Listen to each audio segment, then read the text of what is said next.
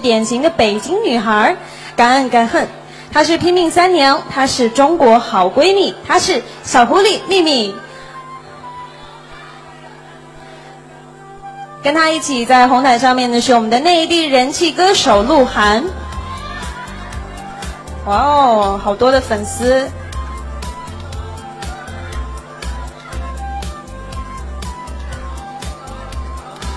鹿晗在微博上更是以单条微博转发记录超过千万而被记入了吉尼斯世界纪录，可见我们的鹿晗人气真的是不容小觑。来，在我们的主背板前面进行合影。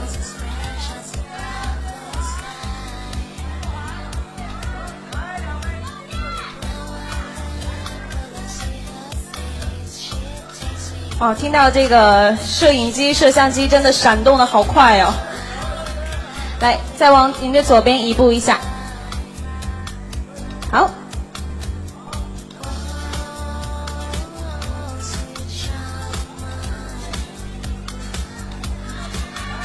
有很多的姐姐也在叫鹿晗的名字。哇，我们秘密也也是有很多粉丝在现场哦。来，请二位在我们的背板上面签名。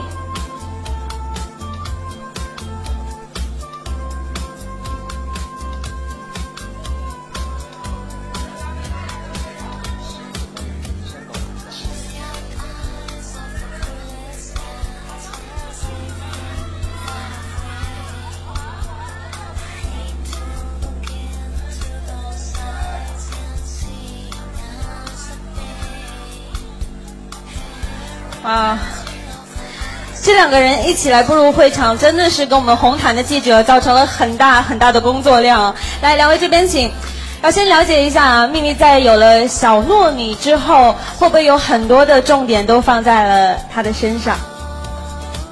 对，家庭会成为很重要的一部分，但是现在也要努力工作，为了家庭。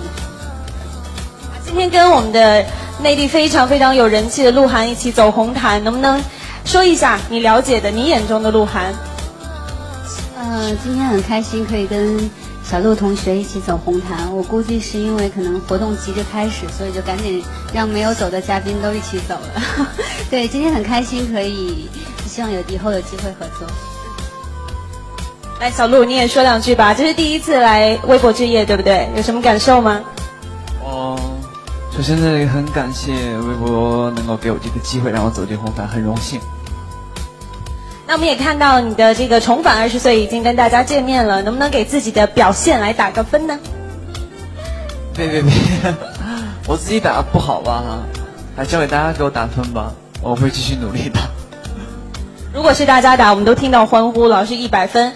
来，秘密，接下来跟我们分享一下你二零一五年在呃工作上面的一些计划，好吗？二零一五会陆续会有一些作品带给大家，因为呃今年可能有一些时间没有放在工作上，放在家庭上，所以二零一五会有更多新的作品。嗯，我们也期待着二零一五年回归我们荧幕的杨幂，来鹿晗跟我们分享一下二零一五年的新年愿望或者是一些工作计划。呃，二零一二零一五年的愿望的话，希望爱我的人和我爱的人们都能够健康、幸福、开心。工作计划呢，这是个秘密，好了，希望大家可以多多期待。好，我们期待二位在二零一五年的新动向，谢谢，感谢你们来来到二零一四微博之夜，请步入主会场，谢谢二位。好，我们的秘密和鹿晗。